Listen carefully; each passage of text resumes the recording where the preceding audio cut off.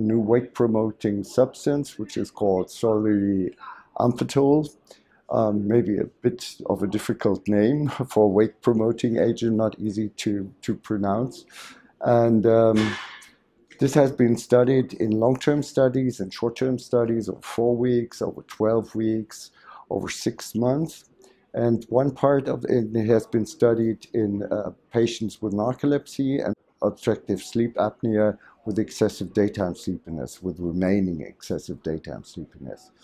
And um, it has proven to be uh, very efficacious in reducing Epworth sleepiness scale to an amount which is in the mean almost underneath 10 points in Epworth sleepiness scale, which is a cutoff point for uh, sleepiness, and it has been able to reduce the MW sleep latency on the uh, ma maintenance of wakefulness test for uh, up to 12 minutes uh, dose dependently.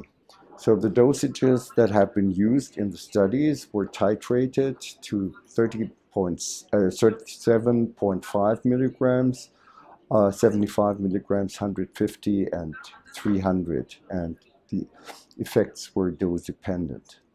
So one of the studies was a, uh, was a study on the adherence to CPAP devices, um, either CPAP devices or other devices for treatment of uh, sleep apnea in patients that were adherent to the therapy and to patients that were non-adherent to therapy to look if it changed, it ha had an impact on the adherence to their present therapy.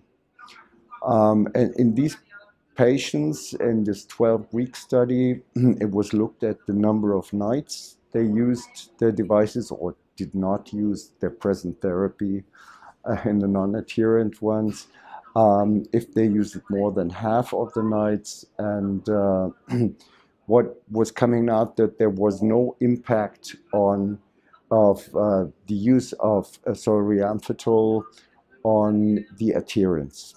Neither in the non-adherent group of OSA, uh, OSAS patients uh, and not in the adherent group. If they were treated with solriamfetol or if they were on the placebo, didn't, didn't matter. However, it increased the sleep latency on the MWT uh, dose dependently as it was seen before, and uh, it reduced the uh, uh score of the Epworth sleepiness scale, as has been shown in other studies before.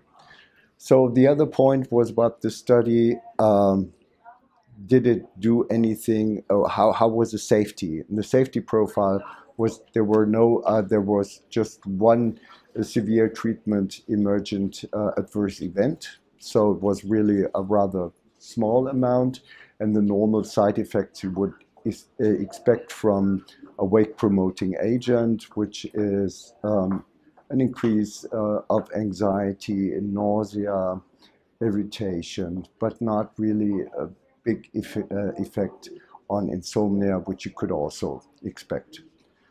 So this was one part, and you can conclude it is uh, it has a good prof profile concerning side effects, and it doesn't have an impact on the adherence to um, OSA therapy, which is very important because you could think, oh, maybe patients that use this medication, or maybe if it's uh, approved in Europe or in the United States, could might not use their devices anymore.